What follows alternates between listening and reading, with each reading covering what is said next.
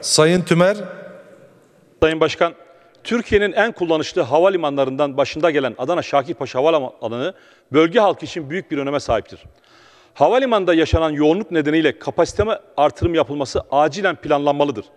Bir havayolu şirketinin yer sıkıntısından dolayı uçuşları dış hatlar terminaline yönlendirilmiştir. Yolcuların uçağa binerken yakınları tarafından yolcu edilmesine ya da yakınlarını karşılarken araçlarıyla kısa süreli de olsa beklemelerine izin verilmediği bilinmektedir. Bu tür kısa süreli beklemelerde vatandaşlara kesilen trafik cezalarının önüne geçilmelidir. Öte yandan sarı basın kartı sahibi gazetecilerin araçlarına Adana Şakirpaşa Havalimanı'nda önceki yıllar park imkanı tanınırken bu hak neden iptal edilmiştir? Tüm bu sorunların çözümü ve vatandaşların daha rahat seyahat edebilmeleri için herhangi bir çalışma yapılacak mıdır? Teşekkür ederim Sayın Tümer.